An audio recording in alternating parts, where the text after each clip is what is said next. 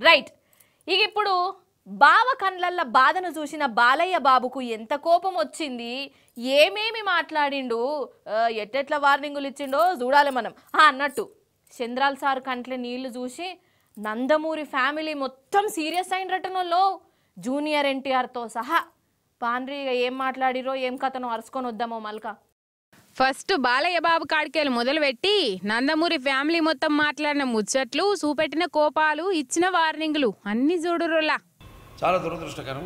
వాడు వాడే భాష కానివ్వండి లేకపోతే వాళ్ళ వాచకం లేకపోతే ఆంగికం కానివ్వండి. ఆంగికం కూడా చూస్తే అసలు మనం ఎక్కడ గొడ్ల కొంపలో ఉన్నామా?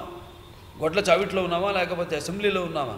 మీరు విర్రవీగి ఇష్టం వచ్చినట్టు మాట్లాడితే మాత్రం సహించేది లేదు ఇక జాగ్రత్తగా ఉండండి. మీ నోరు అదుపులో పెట్టుకుని మాట్లాడండి. ఇదే నా హెచ్చరిక. మళ్ళీ ఇటువంటి నీచం నికృష్ట పాపిష్ట కల్మష భూష్టమైన పదాలు వాడారంటే మాత్రం ఇక సహించలేదు లేదు ఒక్కొక్కళ్ళ భర్తం భర్తం. ఖబర్దార్. అది లెక్క. బాలికాకనా మజాకా? ఇప్పటి సంది ఊకునే ముచ్చటే లేదట. అవు మరి జిందగీలు ఎన్నడు బావ కళ్ళల్లో ఇంతగానం బాధ చూస్తా అని అనుకోకపోవచ్చు ఊకుంటాడా? ఎంత బాధ ఉంటది ఏందసలు? అటెనక బాలయ్య బాబోళ్ళు ఇంటామె మాట్లాడి ఎవలి పాపానే వాళ్ళే పోతారు. దేవుడు చూస్తాడన్నట్టు శాపం పెట్టింది. ఇలా ఇలా మాట్లాడిన వాళ్ళందరికీ వాళ్ళ ఇంట్లో ఆడవాళ్ళే సమాధానం చెప్పాలండి. దేవ్ దేవుడే వాళ్ళకి సమాధానం చెప్తారు. తర్వాత కతిమ ఫ్యామిలీ మెంబర్స్ అంతా సాఫ్ట్ గానే వార్నింగ్ ఇచ్చిర్రు. ఇక మన జూనియర్ ఎన్టీఆర్ సారు వాళ్ళతో లేకున్నా తర్వాత వీడియో రికార్డ్ చేసి ట్విట్టర్లో పెట్టిండు.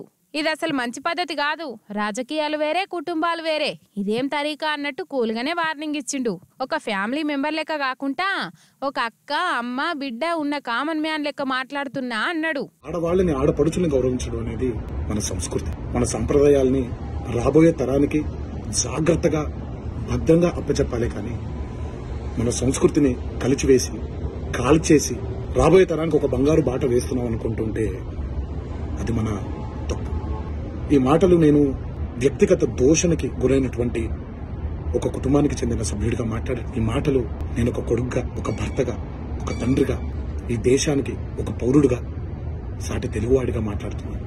రాజకీయ నాయకులందరికీ ఒకటే వినపం దయచేసి ఈ అరాచక సంస్కృతిని ఇక్కడితో ఆపేయండి.